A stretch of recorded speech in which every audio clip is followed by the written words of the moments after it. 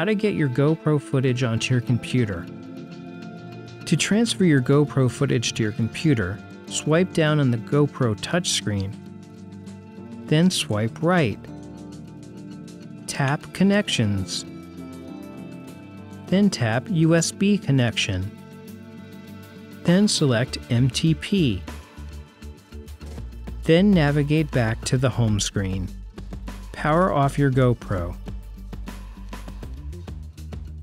Now, using the included cable, connect it to your GoPro and then connect the other end to your computer. I'll press and hold the power mode button on the side of the camera for a few seconds to turn it on. If you have a PC, your GoPro should show up on your computer.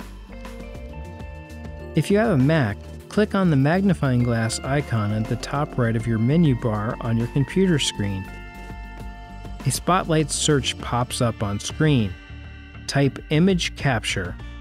The Image Capture app will open and you will be able to connect to your GoPro and import your footage onto your computer using the app's controls.